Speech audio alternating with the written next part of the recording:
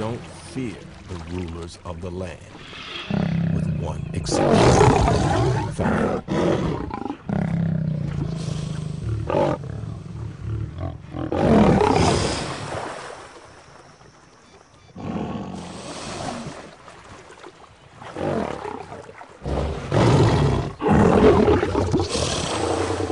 Today, the pride's protector has earned his keep.